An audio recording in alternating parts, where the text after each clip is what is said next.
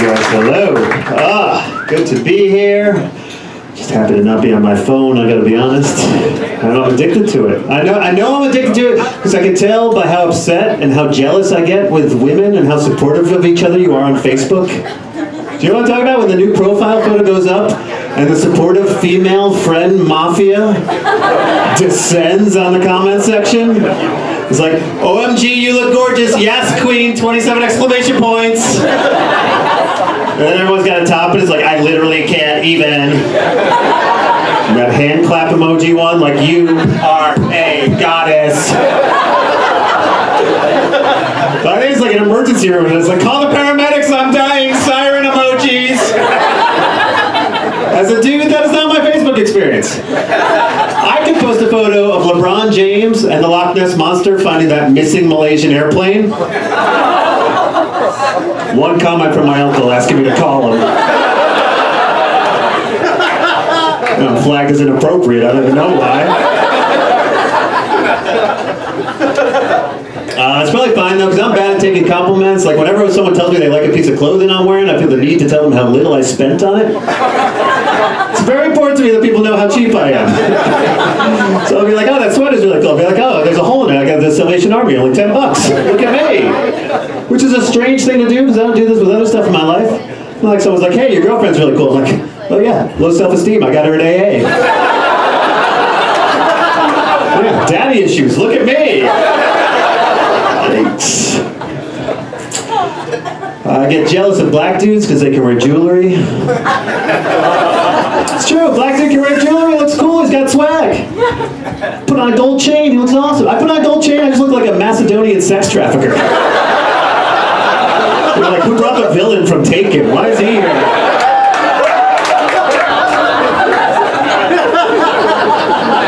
I'm like, the main villain? They're like, nah, the one who gets killed at the construction site. The first one, yeah. That's here. I'm like, awesome, all right. But to be more woke, figure stuff out. It's kind of tough though, you know? Like, it's weird to me that you're enlightened if you say people of color, but you're a bigot if you say colored people. Those are the same words, we just switch the order. You know, like, I'm Jewish, someone came up to me and was like, you're a filthy Jew. I would be like, whoa, whoa, whoa. I'm a Jew of filth. All right? Switch those words around. Get woke.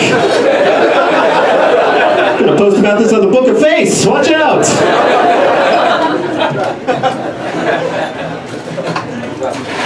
But yeah, I don't know if you guys know this. Old Jews very competitive with black people about who's been more oppressed. Big competition. I remember I was watching that movie, 12 Years a Slave. The opening credits are on. My grandma walks in the room, looks at the screen. She's like, 12 years, huh?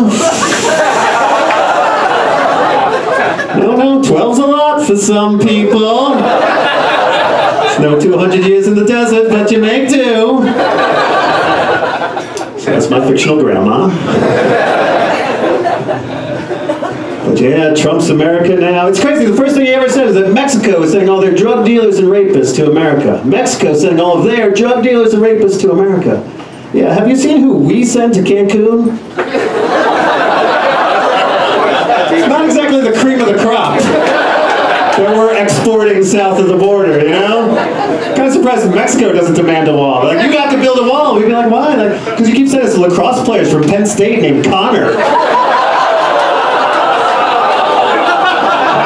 We all take Molly and listen to Tiesto and do body shots at Señor Frog's. It's fucking annoying. Like, I'm sorry, Mexico. You have a good point. I think my favorite thing that Trump said, my favorite thing of all was that press conference was like, I had the biggest margin of victory of anyone since Ronald Reagan. And the reporter stood up like two minutes later, like, yeah, everyone since Ronald Reagan had a bigger margin of victory than you. Trump's like, well, that's what someone told me. That's what someone told me? Can we all do this now? Like if I'm cheating on my girlfriend, she catches me and she's like, what are you doing? Like I thought we were allowed to do that. She's like, no. I'm like, well, that's what someone told me. Sources are saying we have an open relationship. She's like, no, we don't. I'm like, well, fake news. Fake news! Strikes again. That was not a hand job, that was an alternative handshake, all right?